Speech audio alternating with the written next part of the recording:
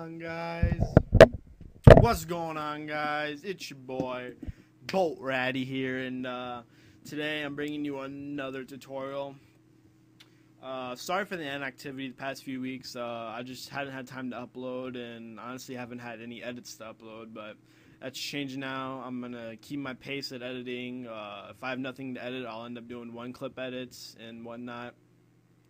But uh, today, I'm bringing you guys another tutorial. I mean, my subs keep getting inactive, and partially the reason is because of me. But uh, I have almost 5,000 subscribers and only get about a couple hundred views on my videos. So hopefully, you guys can like and favorite all my videos or all my recent uploads to uh, to uh, have more people watch my videos because I want to grab my uh, subscribers back as they were. But anyways.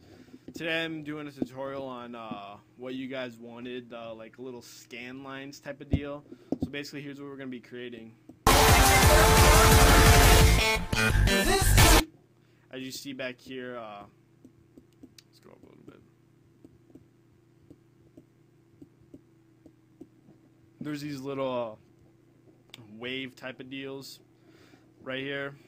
Uh, so basically it's a really good effect for syncing and stuff. So basically what you want to do is uh, go ahead and the way I would do my work is uh, make the flow really good. So go ahead and find the clip after you shoot that you want to do.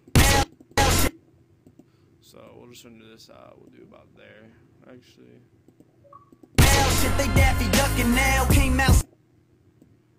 Uh, about right here. So go to render as, render it out.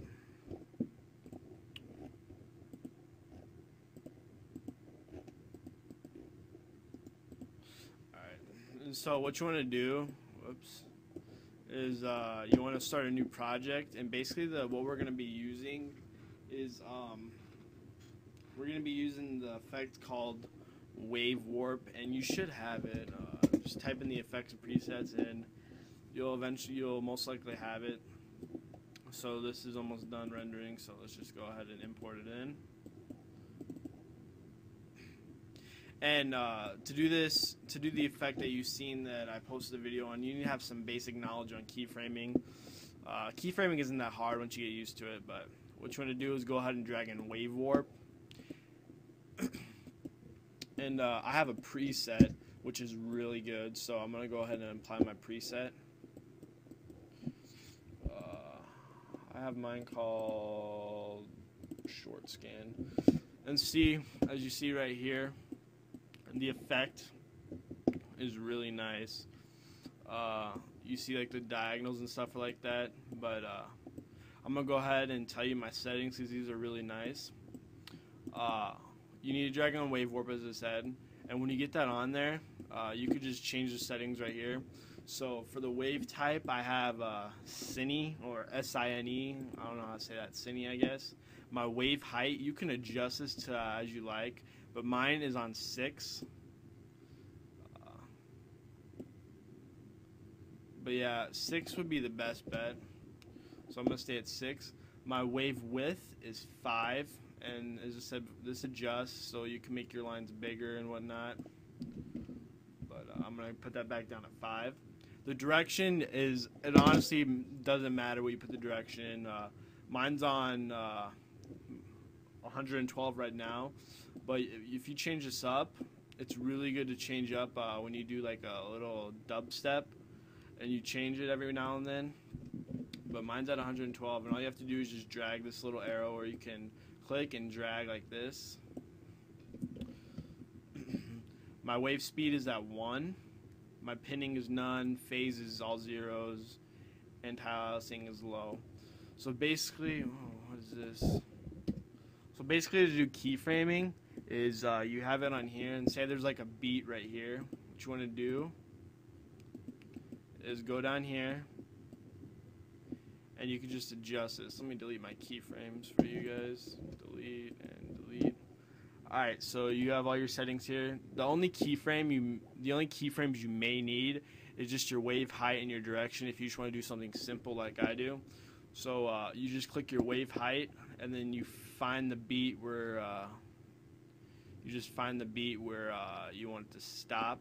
You just go to it and you change the wave height to zero. And uh, you can also do change the direction as well. So you just keyframe the direction, go to uh, where your other keyframe ends. I'm just gonna put it right there, and you change this to zero. It's really, it's a really nice effect to do. And if you just RAM preview it, it's honestly, to be honest, it's the simplest effect you can do.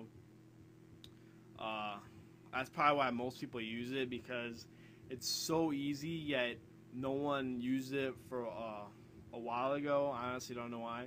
Uh, people are uh, using different effects now that aren't even used.